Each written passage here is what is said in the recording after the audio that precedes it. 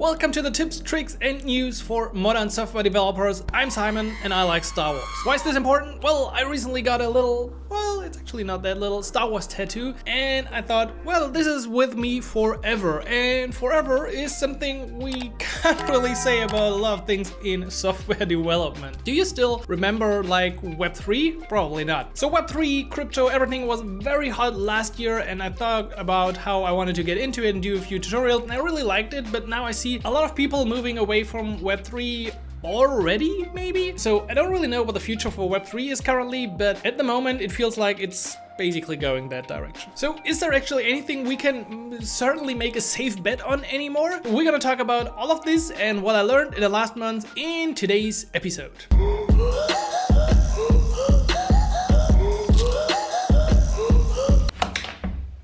Because I know that Ionic might not be around forever, I took a closer look at React Native and Flutter over the last time. So talking about things that are forever, we can't be sure that any of those approaches will be around forever, just like we can't actually be sure that Swift or anything will be around forever. We always thought maybe Objective-C is there to stay, but then we got Swift, so everything is a constant change. So I also took a look at those cross-platform frameworks lately. I built the same application with all three frameworks, like uh, one with Capacitor, one with React Native, and one with Flutter. If you're interested in Flutter, I think the video just came out this week. Definitely go check it out. I had a lot of fun using Flutter, and the comparison of those three tools will come in about two weeks. It will be a pretty long video because I tried to fit all the experiences that I had with these tools, like building this application, into that video. Is there a winner to this? That's usually the question. What's the best framework? What's the best cross-platform framework? Like, what should we learn and use? It depends.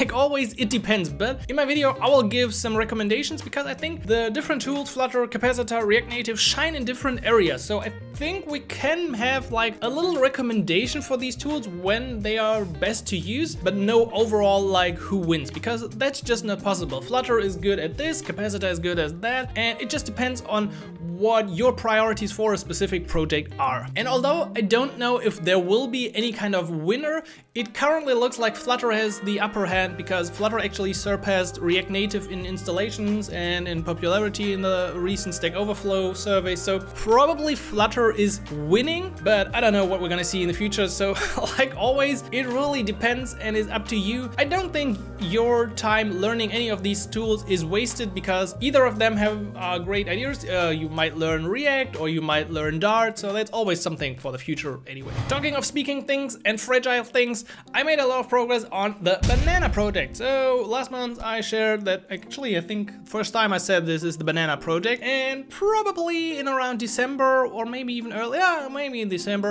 uh, I will share the real name of the project. We've made a lot of progress, Brad and I uh, are working on the project. I implemented a lot of things with SvelteKit lately, especially how to combine Supabase and Stripe to have like user authentication, account creation, and I built this network of cloud functions and webhook triggers and I explained everything on our podcast with Simon. But I found this to be really cool, that it works, that it's free, that you can do stuff like that. On the other hand, this is so fragile and it feels like if just one party changes an API or a parameter, the whole system just comes down and I gotta live with this. And it doesn't feel too good to be honest. You have this kind of fragile system. So I don't know how to handle this in the future. It's just there's always two sides of the same coin. Is it what you call? I don't know. I'm not a native English speaker. But the question is just how stable is this? I don't know. Uh, but using it feels great. Um, there's a great simplicity to all of this. But yeah, on the other hand, if something goes wrong, let's just hope it's not happening. And so in the beginning, I said Web3 is kinda disappearing slowly and people are turning away from it. On the other hand, there's something new coming right into the view, which is AI. Well, yeah, it's not new, machine learning and stuff like that, it's not new, but through the rise of stuff like DALL-E, where you can get this cool graphics generated with AI, you can create like content writing, stuff like uh, copy for a website with AI, it's currently more like this, more like Flutter. Um, so I wonder, is AI the next Web3? Again, a lot of people jumping onto this, creating projects around it, like copywriting, automatic generation of tweets, and pretty much everything you can do with AI. And I also talked with Simon on the pod about this topic recently. You should definitely check it out. Link below the video to the podcast. All the code, look it up, and uh, we're gonna drop two episodes every week. You should subscribe. It's epic, just like this channel. But the problem is, I've seen this rise with AI, with Web3 and crypto as well, and everyone was excited, and this is the future. And is AI now also the future? Uh, everything? I don't know. I just fear to get more into it. Uh, I'm sure it is super interesting, machine learning, and I'm also sure at the same time that some of these parts will stay forever. For example, if I use my camera on the iPhone, that's also AI. It's optimizing the images using AI. So AI is not really something we need to fear, although it says like artificial intelligence, but I discussed it with Simon as well. It's not really intelligence compared to what you and I can do. Like GitHub Copilot can give you some code, but then it's not too good. And are you as a developer, I don't think we're gonna be replaced.